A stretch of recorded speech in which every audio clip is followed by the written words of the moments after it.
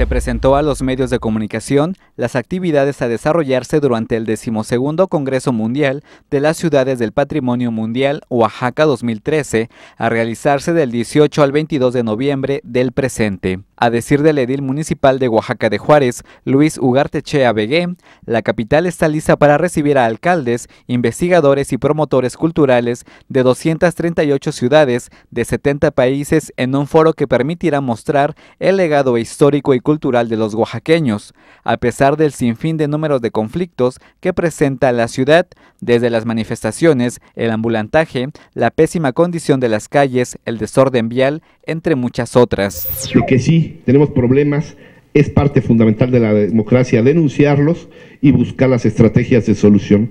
pero me parece que también implica una semana, una oportunidad para posicionar a Oaxaca a nivel internacional, me parece una posibilidad para presentar todo lo que nos hace sentir orgullosos y me parece eh, una oportunidad para hablar como toda civilización y como toda ciudad, no solo de nuestros pasivos, sí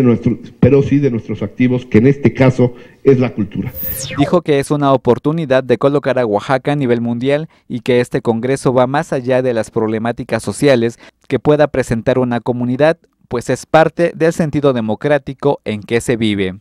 Para embellecer la ciudad se cuenta con un presupuesto total de 67 millones de pesos para bachear, pintar fachadas, el alumbrado público, limpieza de las calles, entre otros. Tenemos que replantearnos todos en esta ciudad nuestra propia relación cotidiana con el patrimonio, con el tesoro que tenemos en manos, cómo tenemos que respetar a la academia, al INA, a Conaculta, a los expertos en materia de conservación,